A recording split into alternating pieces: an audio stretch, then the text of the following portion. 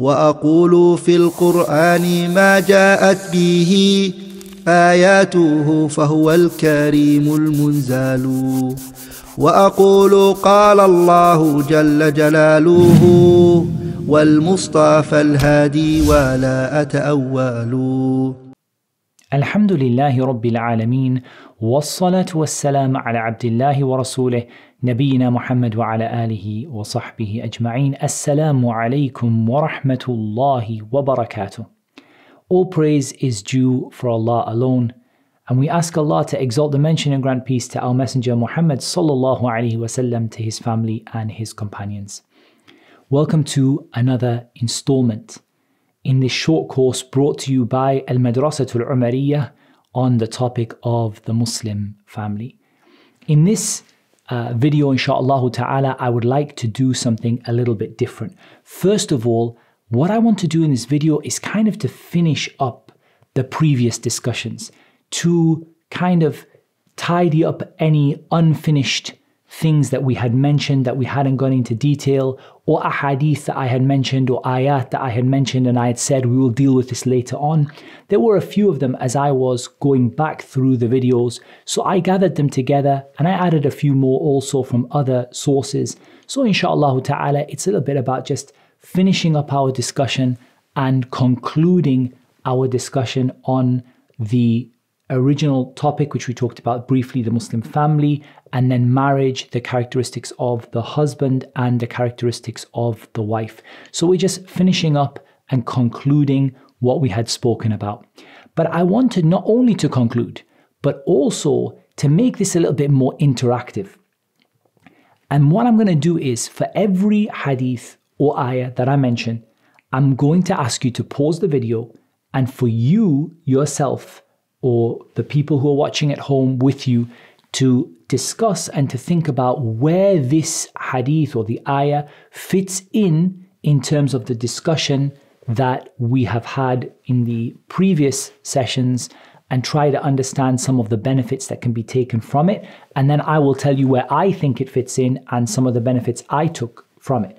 And when it comes to taking benefits from hadith and ayat, it's very possible that you're going to think of ayat, uh, you're going to think of benefits from these ayat and ahadith that I didn't think of, and that's absolutely fine, uh, insha'Allah ta'ala. So, nothing to worry about if you come up with slightly different answers, as long as they are, inshallah, broadly, you know, within the meaning of the hadith or broadly valid.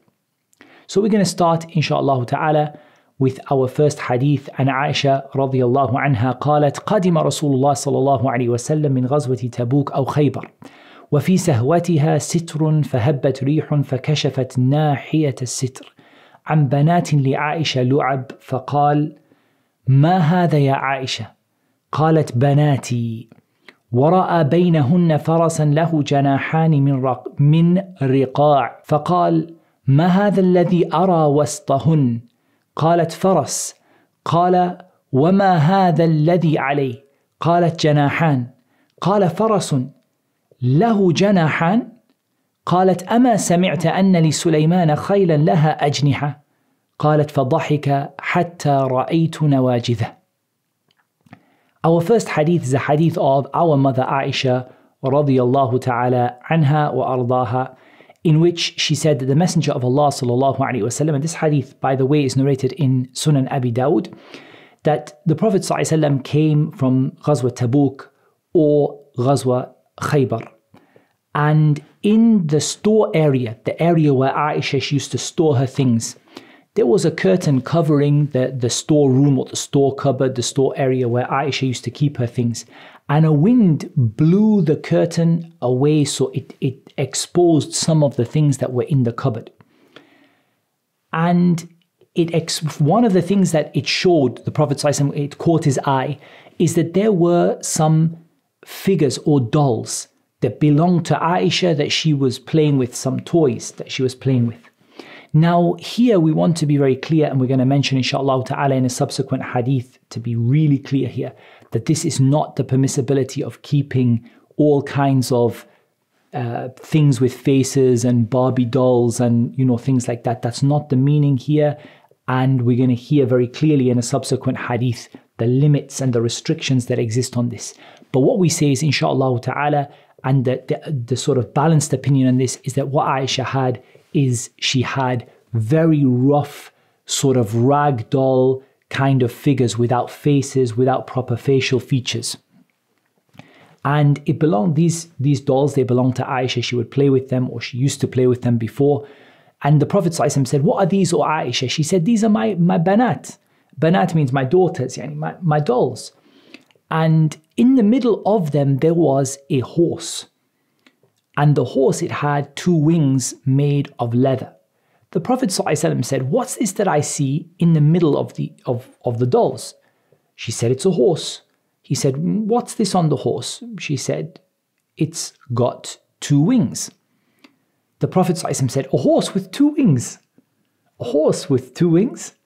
She said, Didn't you hear that Sulaiman had horses with wings?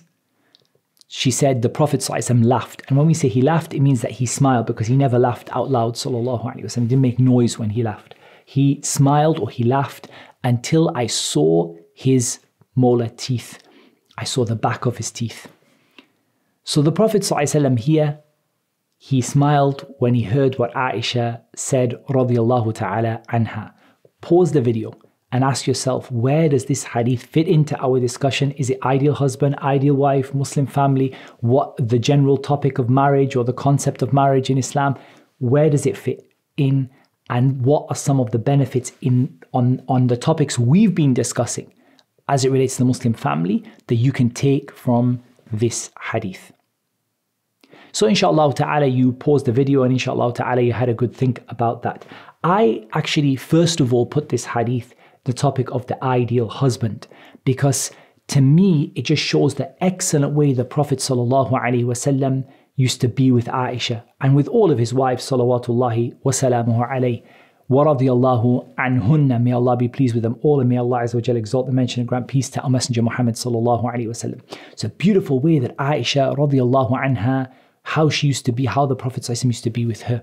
So you see the Prophet sallallahu alaihi wasallam here uh, first of all, not everything is serious. We know the Prophet had a very, very, in fact, no one had a more serious and a more weighty and a, and a bigger responsibility in their role in life than our Messenger Muhammad. But still, he asked Aisha, What's this? What's this in the middle? And then he had that kind of soft and almost a, a, a little, not even a joke. I think the word joke can be misunderstood because a lot of times people lie when they're joking and things. But that kind of light-hearted conversation with Aisha when he says, "Does a horse have two wings?" and she said, "Don't you, didn't you hear that Suleiman had horses with wings?" It's very very beautiful uh, discussion and a very very beautiful example of interaction between husband and wife. As for the issue of toys and dolls, I think this is something we have to delay and discuss when it comes to the issue of children, inshallah ta'ala.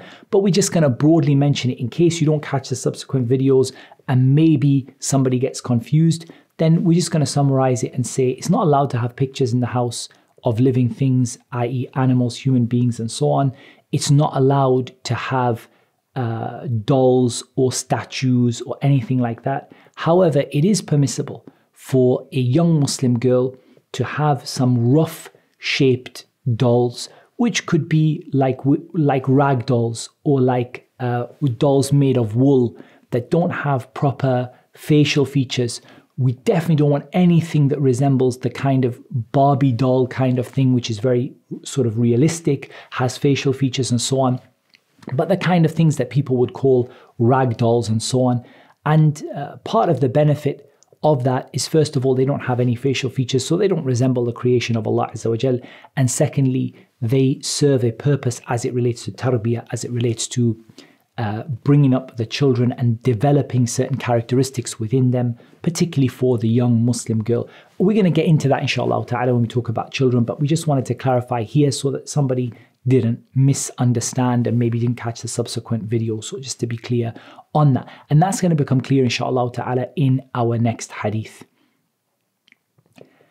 It's another hadith from Aisha radiallahu anha تقول دخل علي رسول الله صلى الله عليه وسلم وقد سترت سهوة لي بقرام فيه تماثيل فلما رآه هتكه وتلون وجهه I'll translate the first bit first and we get to the second bit. Aisha radiallahu anha, she said that the Messenger of Allah sallallahu alayhi wasallam came into my home, came into where I was, and I had covered a shelf that I had with a curtain on which there were images.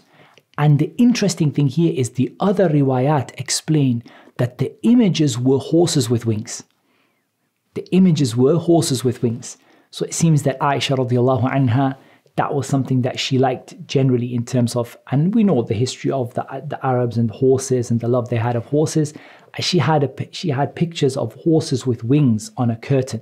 Now the Prophet remember allowed her to keep the doll. And Al-Hafidh ibn Hajar rahimahullah ta'ala mentioned that this was quite late in, in the life of the Prophet after Ghazwat Tabuk or Khaybar. So it wasn't something early in the days of Medina. He allowed her to keep that rough shaped horse with wings that wasn't realistic, that wasn't, didn't have all the facial features.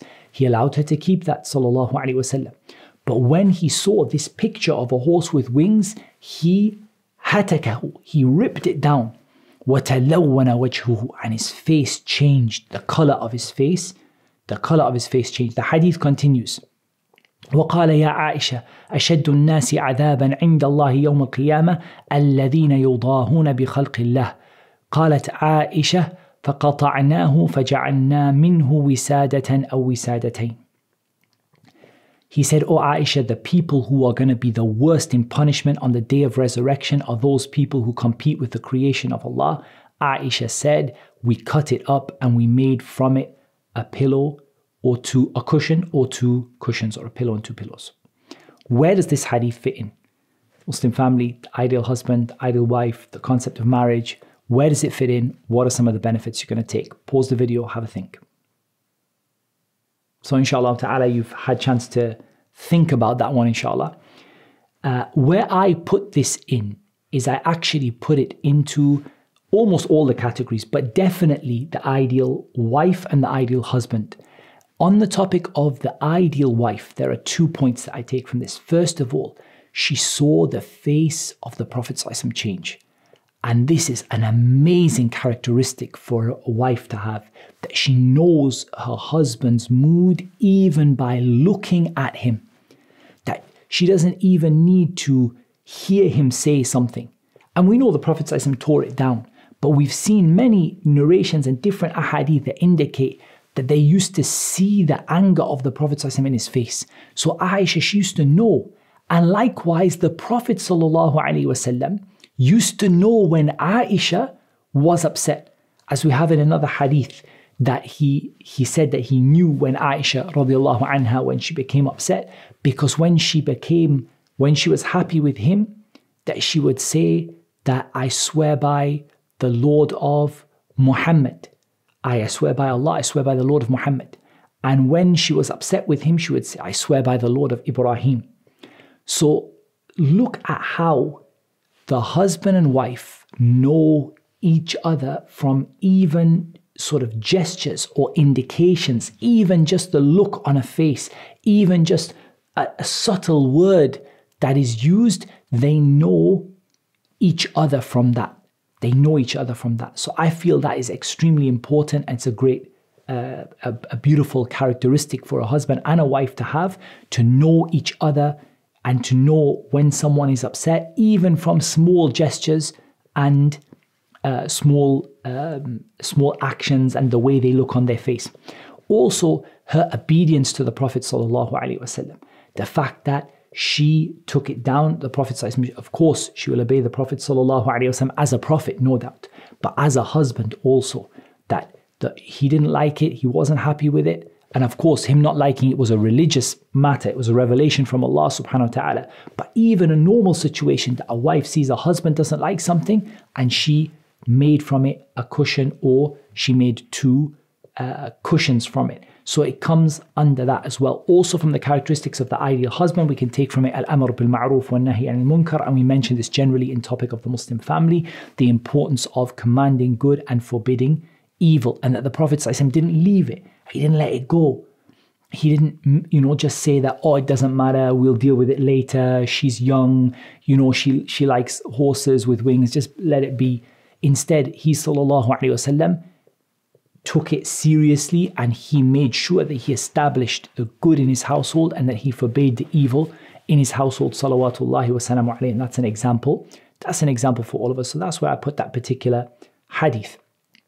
Another hadith from our mother Aisha radiallahu anha, this one in Bukhari and Muslim, and Aisha radiallahu anha أنها قالت جاء حبش يزفنون في يوم عيد في المسجد فدعاني النبي صلى الله عليه وسلم فوضعت رأسي على منكبه فجعلت أنظر إلى لعبهم حتى كنت أنا التي أنصرف عن النظر إليهم.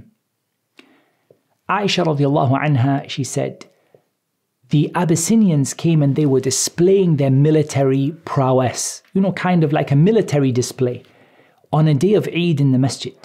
So the Prophet ﷺ called me and I put my head on his shoulder and I started to watch them playing. Because they were doing it as an entertainment, as a play, but also it was of a benefit to them as well because it was a, a show of their military ability. We'll hear in the second narration that they were playing with spears. Until it was me who decided that I had had enough and I wanted to stop watching them. That's the first narration. We're going to hear the second narration. قالت عائشة والله لقد رأيت رسول الله صلى الله عليه وسلم يقوم على باب حجرتي والحبشة يلعبون بحرابهم في مسجد رسول الله صلى الله عليه وسلم يسترني بردائه لكي أنظر إلى لعبهم.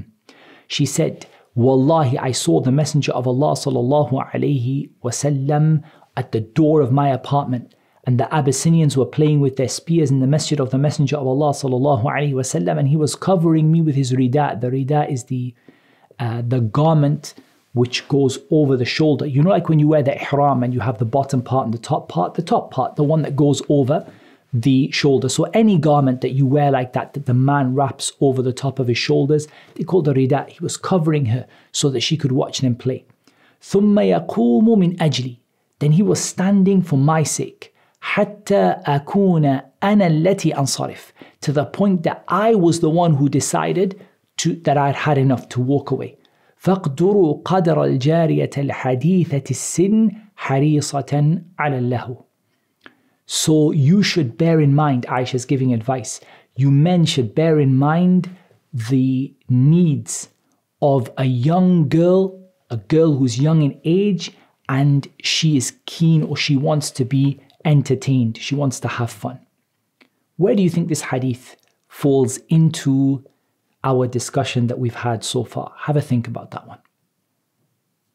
So, inshallah ta'ala, you guys have had a think about it.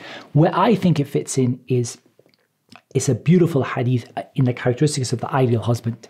And that is the Prophet gave Aisha time and he took care of her in terms of even her desire to have a little bit of fun, to enjoy herself from time to time. And the, one of the most beautiful things I think in this is the statement of Aisha, ثُمَّ يَقُومُ مِنْ أَجْلِي He stood for me. حتى أكون أنا التي أنصرف until it was me who made the decision to leave. And you can imagine the Prophet is covering her. It's not, you know, it's, he, he's tired. It's, it's hard. He's, he, she's got her head uh, on his shoulder. He's covering her with his uh, the garment that is over his upper body. He's covering her with his upper garment, and he's standing on his two feet. Sallallahu alaihi wasallam. For how long? He never says, Aisha, that's enough. Go now. Uh, finish, Aisha. You know, hasbuk. It's enough for you. Just go back. He waited and waited and waited until Aisha said, I've had enough. Sometimes it's even, it's even alluded to the fact that Aisha actually stayed longer than she wanted to to see how the Prophet ﷺ would behave.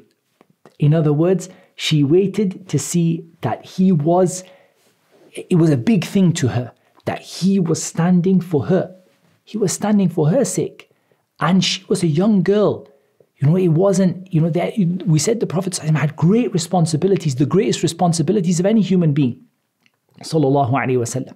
And yet he stood for for entertainment, for for something which was a play, something which was just you know yes, they, as we said, it was a, a it was playing that was beneficial.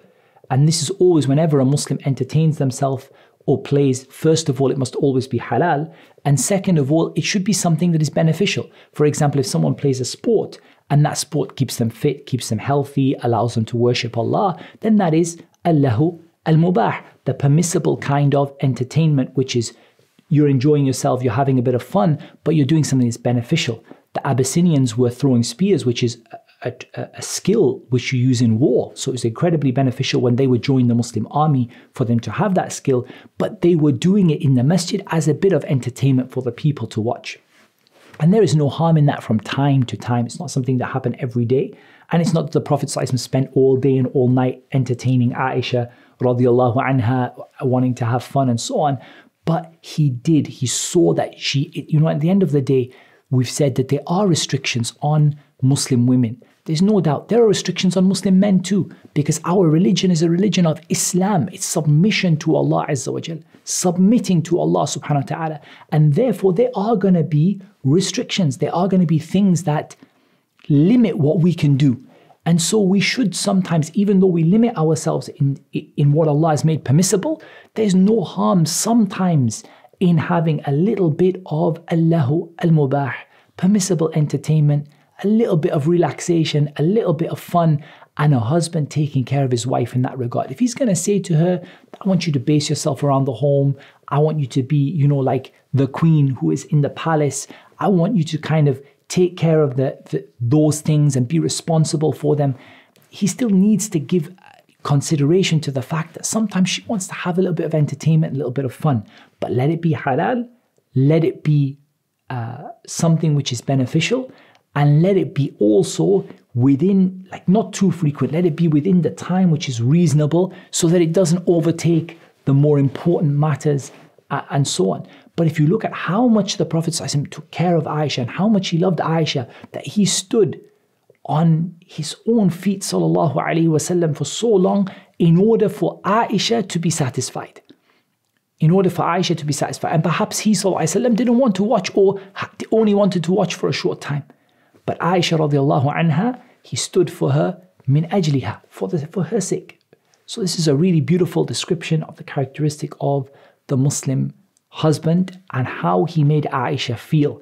That she said, ثُمَّ يَقُومُ مِنْ أَجْلِي Just for me, he stood there. And that is really a really, you know, beautiful description of how a husband should make his wife feel. So we move on again to our uh, next uh, hadith. So for our next hadith is also the hadith of our mother Aisha radiallahu anha.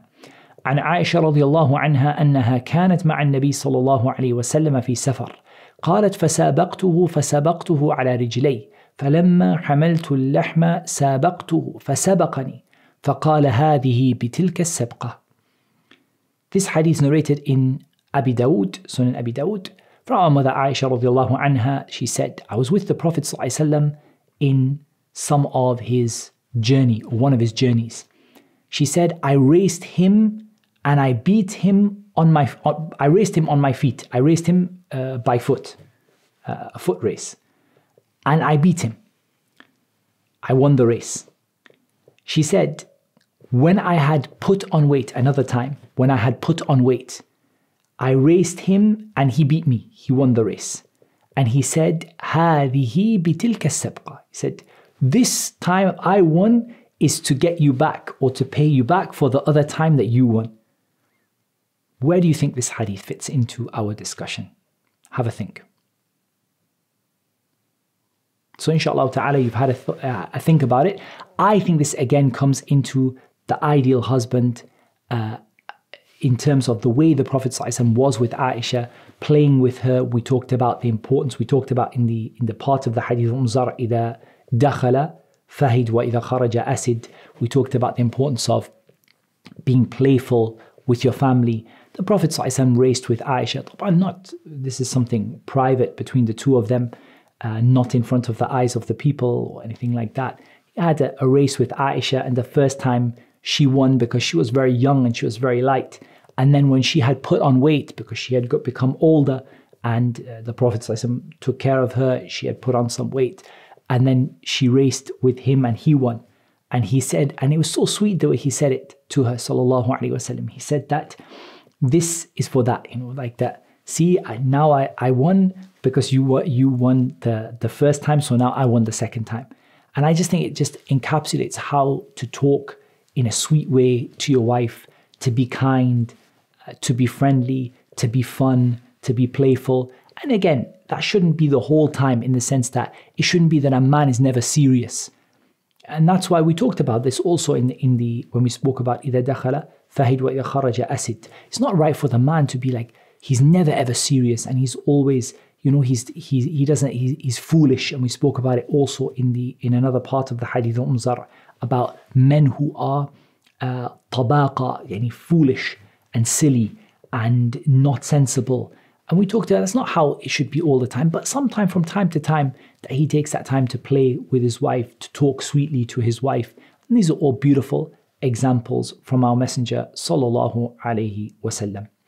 Our next hadith عن عكرمة عن ابن عباس رضي الله عنهما قال إني لأحب أن أتزين للمرأة كما أحب أن تزين لي لأن الله عز وجل يقول ولهن مثل الذي عليهن this is narrated by Imam al-Nasa'i in the Sunan al-Kubra, and it is a athar from Ibn Abbas radiallahu anhuma. He said that I love to adorn myself for my wife just as I love for her to adorn herself for me. Because Allah Azza wa Jal says, وَلَهُنَّ مِثْلُ الَّذِي عَلَيْهِنَّ That they have they have rights similar or equal to those that the rights that the husbands have over them. So this actual athar is mentioned in tafsir in the tafsir of the ayah وَلَهُنَّ مِثْلُ الَّذِي عَلَيْهِنَّ بِالْمَعْرُوفِ and we've got this ayah is going to come inshallah ta'ala uh, in Surah Al-Baqarah the ayah is going to come inshallah ta'ala in our discussion on the rights of the husband and the rights of uh, the wife so that's not an issue we're going to come to that but here I wanted to take this the action of Ibn Abbas radiallahu that I love to adorn myself to make myself look good you know it can be the way that he dresses it could be the way that he uh, he he uh, puts perfume, the way that he uh, takes care of his appearance for his wife, because I want her to do the same for me. And Allah said, women have rights that are the same or that are mithl, they are an equivalent of the rights that their husbands have over them. So if the husband has the right for his wife to dress up for him, then she has the right for her husband to adorn himself and dress up for her. And we said that this could come under the ideal husband or the ideal wife, could put under, under either, to be honest, that the husband uh, adorns himself, looks good for his wife, takes care of his appearance in front of his wife, and likewise the reverse. The wife looks care, takes care of herself in front of her husband and takes care of how she looks in front of her husband. So that's actually all we have time for in this particular episode. So we still have some ahadith left. So we'll continue those in the next episode, inshallah ta'ala. Continue to ask you guys to try and fit them in uh, to where they go in the course. And then inshallah we can move on from there to discussing the contract of marriage and the essence of that contract and what it means. That's what Allah Azza made easy for me to mention, and Allah knows best. Wassalatu wassalamu ala nabiyina Muhammad wa ala alihi wa sahbihi ajma'in. Assalamu alaikum. If you're enjoying these videos and you'd like to keep up to date with all of the courses we're going to be running, make sure you head over to amauathome.com.